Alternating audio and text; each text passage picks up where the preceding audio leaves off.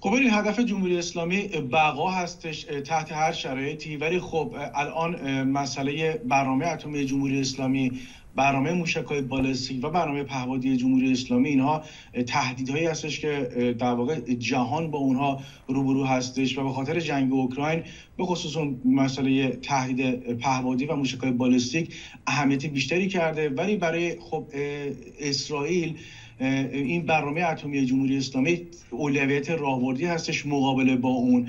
و به نظر من جمهوری اسلامی تا جایی که در واقع بتونه که اون بقای خودش رو تضمین بکنه از طریق اخاذی اتمی و از طریق اینکه بخواد اون تهدیدهای اتمی رو مطرح بکنه که بتونه امتیازاتی رو بگیره توی میز مذاکره اتمی. اگر بتونه این کار رو انجام بده به این سیاست تشدید تنش اتمی خودش ادامه خواهد داد و ابعاد دیگه می‌تونه همون تو بعد تشدید تنش توی برنامه پهبادی و برنامه موشک‌های بالستیک باشه.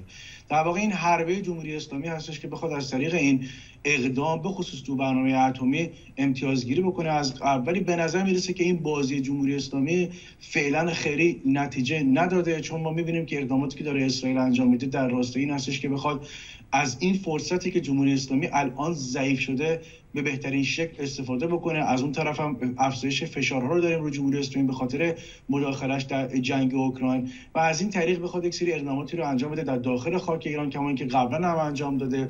من فکر کنم با اومدن نتانیاهو این سیاستی که اسرائیل داره برای اینکه بخواد ایجاد مهار و بازدارندگی بکنه در برابر جمهوری اسلامی به خصوص تو برنامه در مورد برنامه اتمی افزایش پیدا خواهد کرد و این حملاتی که ما داشتیم به تاسیسات وزارت دفاع در اصفهان به نظر من یک جلوه ای از همین تلاش های اسرائیل هستش که سعی می‌کنه که بیشترین در واقع ضربه رو به جمهوری اسلامی بزنه توی اون برنامه اتمی در داخل خاک ایران. و همزمان بخواد حالا در مورد دیپلماتیک هم فشارها بر روی جمهوری اسلامی افزایش پیدا بکنه.